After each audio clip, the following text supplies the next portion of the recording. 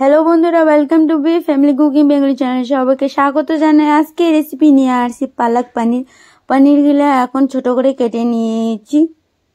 ধনে পাতা আর পালক নিয়েছি, ভালো করে ধুয়ে নিয়েছি। এখন বয়েল করে নেব। জল বসিয়ে দিয়েছি, জল গরম হয়ে গেছে। এখন পালক আর ধনে পাতা দিয়ে দেব। দুই তিন মিনিট বয়েল করে নিয়েছি। বয়েল হয়ে গেছে, এখন নামিয়ে ঠান্ডা জল দিয়ে এখন ধুয়ে নেব। জলটা ভালো করে ঝরিয়ে নিয়েছি। এখন মিসকে জারে এখন দিয়ে দিব, এখন ভালো করে বেটে নেব। পালাক আর ধনে পাতা বাটা হয়ে গেছে। কড়াই বসিয়ে দিয়েছি, তেল গরম হয়ে গেছে। এখন পনির দিয়ে দেব। পনির দিয়েছি, এখন নিমক দিয়ে এখন ভালো করে এখন ভেজে নেব। পনির ভাজা হয়ে গেছে, এখন নামিয়ে নেব।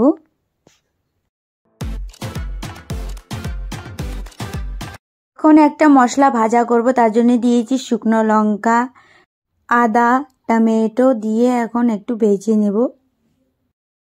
ভাজা হয়ে গেছে, এখন নামিয়ে ঠান্ডা করে নেব। ঠান্ডা হয়ে গেছে, এখন মিসকে জারে এখন মশলাটা এখন বেটে নেব। ভাজা মশলা বাটা হয়ে গেছে, এখন পালক পানির বানাবো, তার জন্য কড়াই বসিয়ে দিয়েছি। কড়াই গরম হয়ে গেছে, এখন তেল দিয়ে দেবো।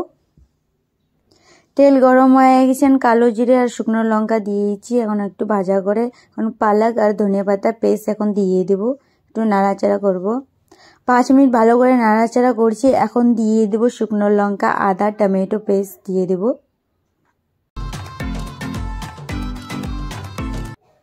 ভালো করে নাড়াচাড়া করব। তারপরে দিয়ে দেব নিমক, জিরা পাউডার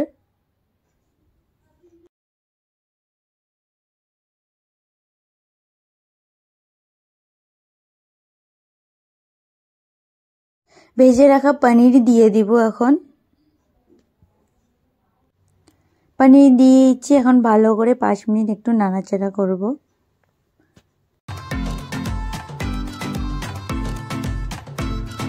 ভাজা মশলা একটা করে রেখেছিলাম, আগে মৌরি, ধনে এখন দিয়ে এখন ভালো করে নাড়াচাড়া করে এখন নামিয়ে নেব।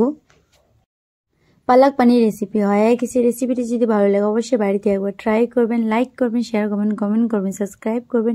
ভিডিওটা দেখার জন্য ধন্যবাদ।